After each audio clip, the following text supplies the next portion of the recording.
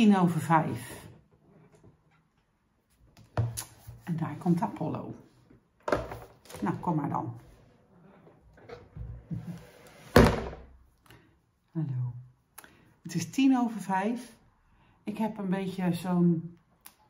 Nou, je hebt wel eens van die dagen. Vanmorgen uh, deed In volgens mij op Facebook iets posten.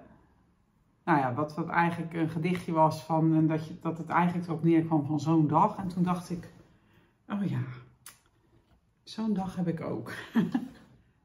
ik heb gewoon niet zo'n fijne dag. Ik ben een beetje moe. En nou ja, er kwam gewoon niet zo heel veel uit mijn handen vandaag. Ik heb wel dingen gedaan, maar niet de dingen die ik wilde en niet zoveel als dat ik wilde. Nou ja, dat is niemand vreemd, denk ik. Iedereen snapt wel wat ik bedoel. Dus, en toen kwam ik er ook vanmiddag nog achter dat de vergadering die ik volgende week zou hebben, dat die naar vandaag verplaatst is. En toen dacht ik, oh ja, ergens wist ik dit, hè. Maar ik had het niet goed in mijn agenda uh, genoteerd. Ik heb wel zelf de agenda voor de vergadering gemaakt, want ik ben tenslotte de president. Dus, dus daar hadden al uh, eerder lampjes moeten gaan branden, maar het licht ging meteen weer uit. Dus uh, het stond niet op de juiste plek. Ga jij nou eventjes aan een kantje zitten, dat ik niet helemaal om je heen hoef te kijken, zo. Dat is goed. Dat is goed. Zo ben je wel een lievertje. Anyway, gisteravond, toen ik klaar was met de vlog opnemen, toen kwam ineens de laatste clue van de Mystery Knit-along. Van de Line Dance Mystery Knit-along uit. En nou, echt, mensen, Lisa heeft zichzelf overtroffen. Echt waar, ik kan daar dan echt naar kijken en denken, waarom verzin ik niet zulke dingen? Ja, ik verzin ook wel dingen, maar er zijn altijd toch nog, toch nog, ik zeg altijd, alles is al bedacht. Maar eerlijk is eerlijk, deze had ik nog nooit voorbij zien komen. Ik ga niet spoileren, ik ga hem dus ook niet laten zien vandaag. Uh, en ik ga wel all the way. Want er is dus een optie om uh, op een gegeven moment af te hechten en er klaar mee te zijn. Maar er is ook nog een optie om er iets anders spectaculairs mee te doen. En die ga ik doen. En ik hoop dat ik daar, nou vandaag zal het er niet meer van komen. Morgen tussen de pannen door een beetje. Ik hoop dat ik hem voor het weekend af heb. We gaan het zien. Ik had vanmorgen een stukje opgenomen terwijl ik boven aan het uh, orde scheppen was in de chaos. Maar we lopen ook een beetje tegen opslagproblemen aan. Dus de tien kratten die jullie op de achtergrond zagen, die zijn allemaal ramvol. Ik moest nieuwe Blackie inpakken. Die had ik gelabeld. Maar toen heb ik uiteindelijk de oude Blackie maar uit de krat gehaald. Want het kon er onmogelijk nog bij. En we hebben, um, we hebben iets nieuws bedacht in zoverre. Um, ik heb natuurlijk wel eens strengen die uh, meegegaan zijn in een bad, omdat ik in opdracht verf voor iemand. Of um, in een restbad.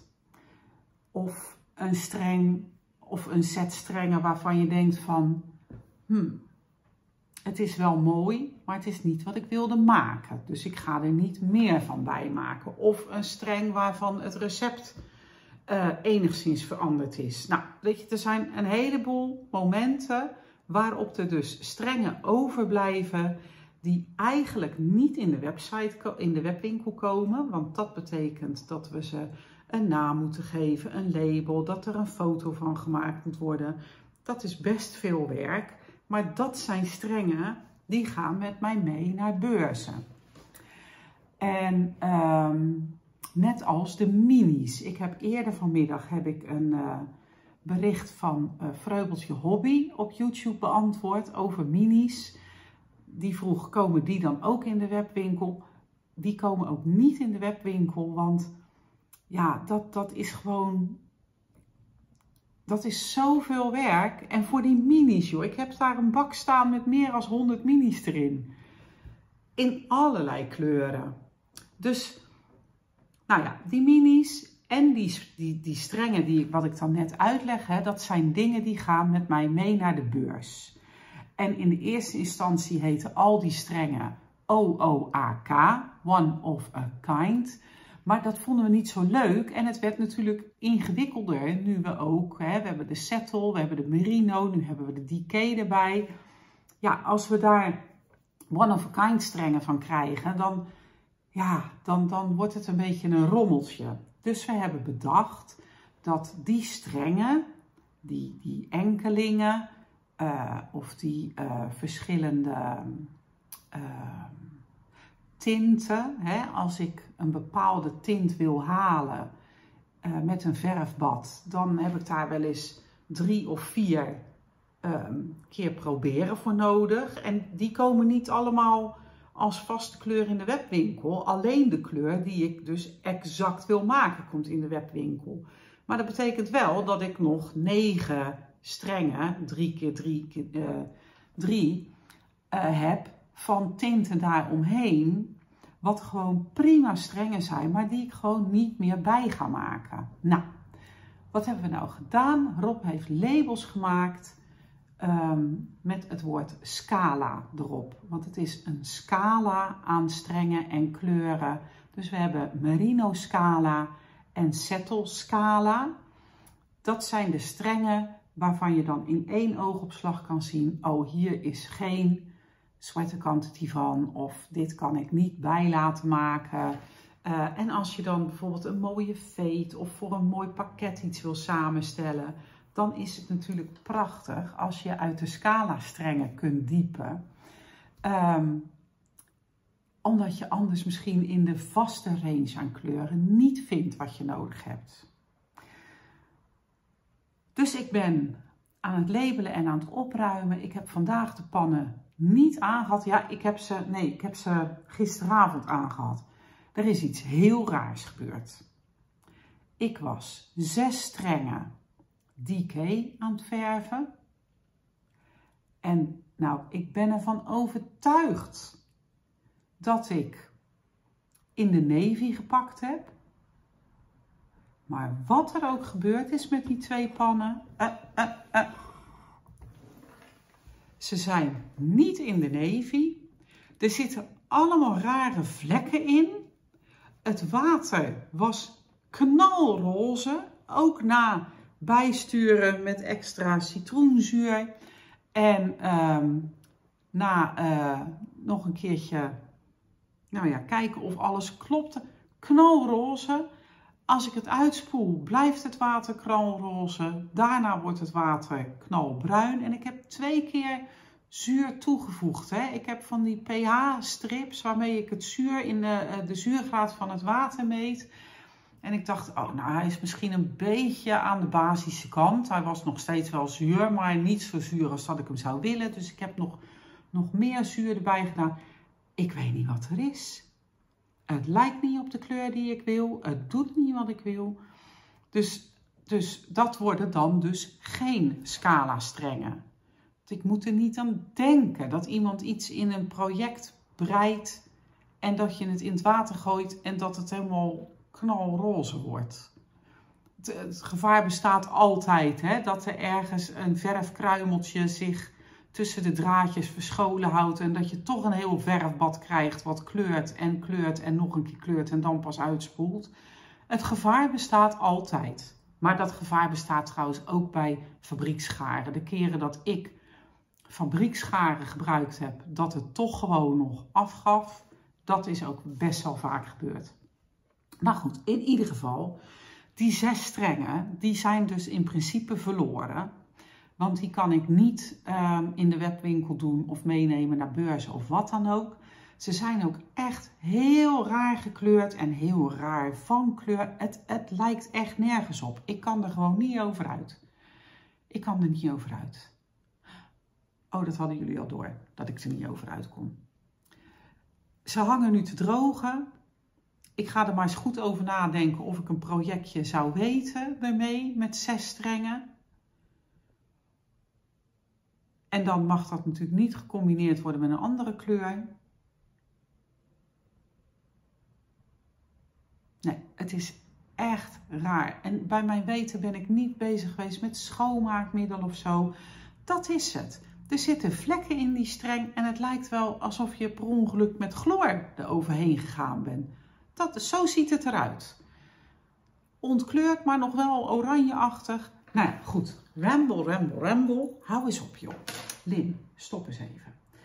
Ik heb dus gebreid aan de line dance call.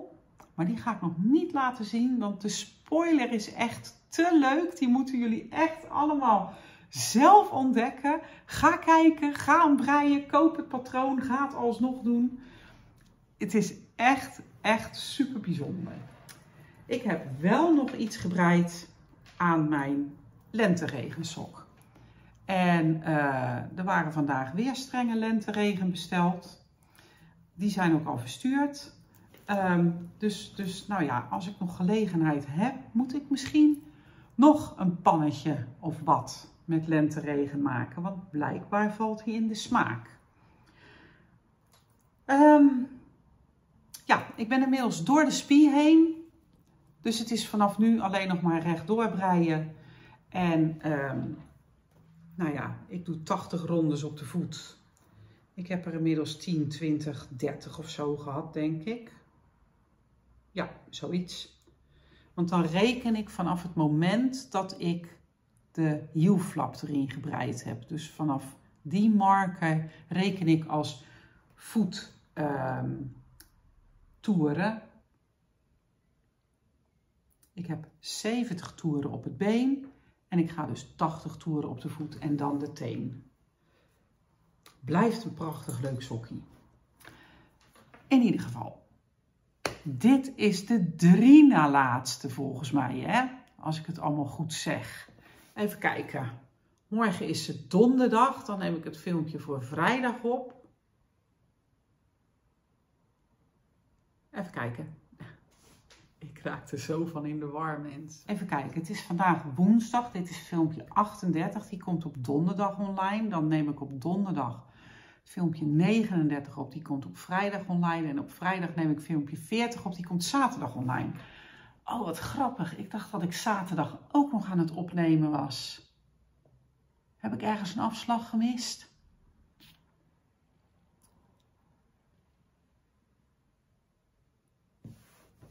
Zo. Mijn brein doet even alleen krekelgeluiden uit een film. Er gebeurt even helemaal niks hierboven. Nou, goed. Um, als ik dat nu zo on camera ga proberen te, door te, te, denken en te beredeneren, dan gaat het toch niet lukken. Dus wie het weet mag het zeggen. Mag je even hieronder zetten. Um, ik ga nog even het Engelse filmpje opnemen en dan ga ik gauw mijn vergadering voorbereiden. En dan zie ik jullie morgen weer. Tot dan. Dag.